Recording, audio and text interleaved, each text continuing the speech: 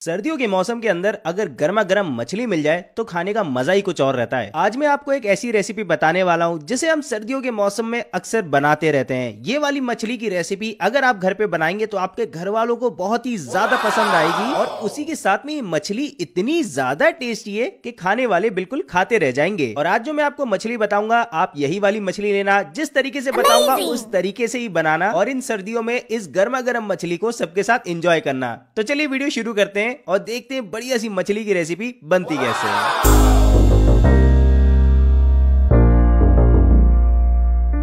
बढ़िया सी मछली बनाने के लिए सबसे पहले उसकी ग्रेवी की तैयारी कर लेते हैं। यहाँ पे मैंने इस्तेमाल किए हैं चार बड़े साइज़ के टमाटर। ये बिल्कुल देसी टमाटर हैं और एकदम खट्टे हैं ये। उसी के साथ में मैं यहाँ पे डेढ़ प्याज का इस्तेमाल कर रहा हूँ। डेढ़ मीडियम साइज़ की प्याज है। पाँच से छह आप हरी मिर्चों का इस्तेमाल कर लीजिएगा या फिर आप स्पाइसी खाना पसंद करते तो और ज़्यादा एड कर सकते हैं। मैंने यहाँ पे एक टेबल स्पून के लगभग लहसन ऐड किया है और एक इंच के बराबर अदरक ऐड करी है। मैं इस ग्रेवी का पेस्ट बनाने के पहले इसके अंदर कुछ चीज़ें और ऐड करूँगा। जैसे कि मैं यहाँ पे सरसों ऐड कर रहा हूँ। एक चम्मच ये पीली वाली सरसों है, आप ज़रूर ऐड कीजिएगा। उसी के साथ में दो चक्री के फूल भी ऐड किए हैं। एक छोटा चम्मच मैंने यहाँ पे सौफ का भी इस्तेमाल किया है और लगभग एक चौथाई नारियल का भी इस्तेमाल किया है। छोटे छोटे टुकड़ों में काट लिया है। और दोस्तों, सबसे बड़ा सीक्रेट पता है क्या है? इन सभी चीज़ों को आप ब्लेंड करने के पहले आप उसी नारियल का पानी भी ऐड कर दीजिएगा। और यहाँ पे आपको अलग से पानी ऐड करने की ज़रूरत नहीं है। नारियल का जो ताज़ा पानी है ना, उससे ही हम लोग का बढ़िया सा पेस्ट बन के तैयार हो जाएगा। और ये जो हम लोग ने पेस्ट बनाया है, इसको मिक्सी में एकदम फाइन नहीं चलाना है, थोड़ा सा दरदरा रखेंगे हम लोग, उसी के साथ में इसको रखते हैं साइड में। ये जो मछली है, इसका नाम है सुरमई। टोटल क्वांटिटी मैंने एक किलो ली है और यहाँ पे सबसे अच्छी बात सुरमई की क्या रहती है? समुद्री मछली तो इसके अंदर बहुत ही बढ़िया सा फ्लेवर आता है। दूसरी खास बात ये रहती है कि एक बड़े कांटे की रहती है, इसमें छोटे कांटे नहीं रहते मैं इस सुरमई मछली को मैरिनेट करूँगा, थोड़ा सा नींबू थोड़ी सी हल्दी, थोड़ा सा नमक और थोड़ी सी कश्मीरी लाल मिर्च। कश्मीरी लाल मिर्च अगर आप अवॉइड कर सके, कश्मीरी लाल मिर्च अगर ऐड करना है तो ऐड कीजिए, वरना कोई दिक्कत की बात नहीं है। बहुत ही अच्छी तरीके से अपने हाथों से इस पे पूरा मैरिनेट कीजिएगा आप सभी। और जैसे कि आप देख सकते हैं, सुरमई मछली बहुत ही अच्छी तरीके से मैरिनेट हो गई है। तो अब हम क्या करेंगे, एक कास्ट आयरन तवा लेंगे, लोहे के तवे का मैं इस्तेमाल कर रहा हूँ, और इसके अंदर सरसों का तेल ऐड करेंगे। जितनी भी मछली हम बनाएँगे, पूरी की पूरी सरसों के तेल में बनाएँगे दोस्तों। तो यहाँ पे मैंने आधा कप सरसों का तेल ऐड किया है, और तेल जैसे गर्म हो जाएगा, हम एक एक करके मछली के पीसेस को ऐड कर देंगे। मैं हर साइड दो मिनट के लिए पकाऊँगा एकदम हाई फ्लेम पे,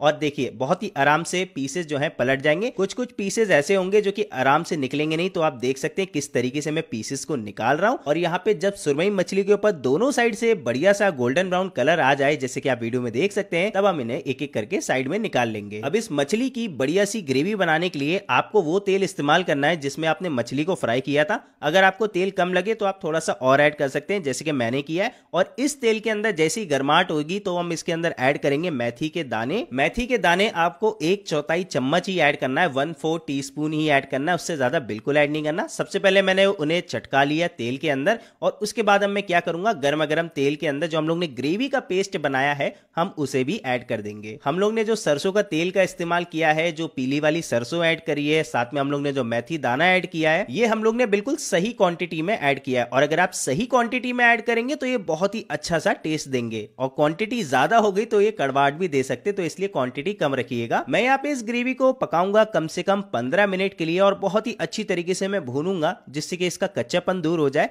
और फिर उसके बाद मैं इसके अंदर कुछ पाउडर वाले मसाले ऐड करूँगा। पाउडर वाले मसालों के अंदर हम आधा चम्मच हल्दी पाउडर थोड़ा सा हम लोग नमक ऐड करेंगे, एकदम स्वाद के अनुसार। तीन चौथाई चम्मच मैं ऐड करूँगा कश्मीरी लाल मिर्च तीन चौथाई चम्मच देगी मिर्च का इस्तेमाल करूँगा और दो चम्मच में ऐड करूँगा धनिया पाउडर के। कश्मीरी लाल मिर्च से हम लोग को बहुत ही अच्छी रंगत मिलेगी। उसी के साथ में नमक मैंने बिल्कुल स्वाद अनुसार ऐड किया है और फिर इसे कम से कम पाँच मिनट के लिए भूना। मैंने थोड़ा सा नमक बाद में ऐड किया क्योंकि मेरे को कम लग रहा था और इन सभी चीज़ों को दो मिनट भूनने के बाद मैं इसके अंदर गर्मा गर्म पानी ऐड करूँगा। दोस्तों, आपको एक चीज़ बिल्कुल ध्यान रखनी है कि इस ग्रेवी को भूनने के बाद में आपको एकदम गर्म, खोलता हुआ पानी ऐड करना है। तभी एक बढ़िया सा टेम्परेचर बना रहेगा और ग्रेवी हम लोग की बहुत ही बढ़िया टेस्टी बनेगी। उसके बाद में भी आपको इसे कम से कम 10 से 15 मिनट के लिए पकाना है ताकि इसका रोगन अच्छी तरीके से ऊपर आए और आपकी ग्रेवी में कच्चापन बिल्कुल भी ना रहे। क्योंकि मैं नहीं चाहता कि आप शेफ अमन की रेसिपी देखें और ये बोले कि भाई मज़ा नहीं आया तो शेफ अमन की रेसिपी में हमेशा मज़ा आएगा दोस्तों। अब ग्रेवी पक चुकी है तो अब मैं इसके अंदर सुरमई मछली के पीसेस को भी ऐड कर देता हूँ। जैसे कि आप देख सकते हैं कि जो प्लेट के अंदर जितना भी मछली ने अपना जूसेस को छोड़ा है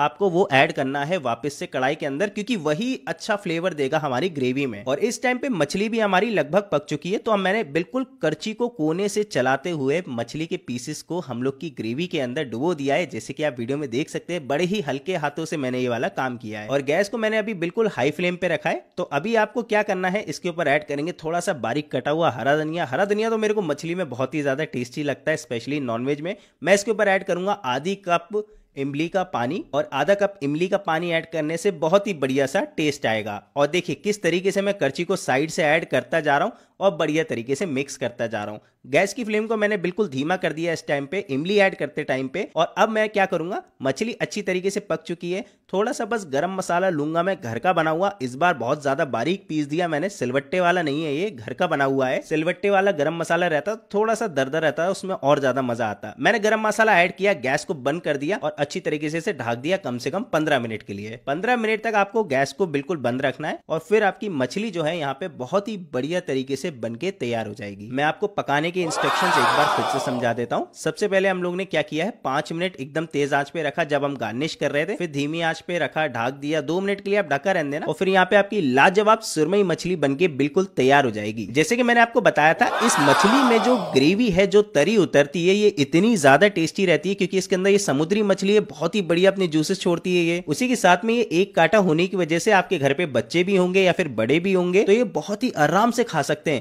और कोकोनट का जो टेस्ट है ग्रेवी के अंदर, उससे जो रिफ्रेशिंग टेस्ट आता है, उसकी तो बात ही कुछ और है। और मैं आपको एक टिप और दे देता हूँ कि जब भी आप सुरमई मछली खरीदने का प्लान कर रहे हैं तो एक से डेढ़ किलो के बीच ही आप लीजिएगा। बहुत ही बढ़िया सी आपको मछली मिलेगी, एकदम ताजी। और इस मछली को आप इस तरीके से बनाएँगे तो मेरे को बिल्कुल याद कीजिएगा। और हमेशा की तरह आप मेरे को कमेंट करके ज़रूर बताएँ कि आपको रेसिपी कैसी लगी दोस्तों। यूट्यूब पे देख रहे हो फेसबुक पे देख रहे हो, या देख रहे हो इंस्टाग्राम पे, सब जगह मिलूँगा मैं आपको शेफ अमन बिसारे के नाम से। तो हम फिर मिलते हैं नई नई और बढ़िया बढ़िया रेसिपीज़ के साथ तब तक के लिए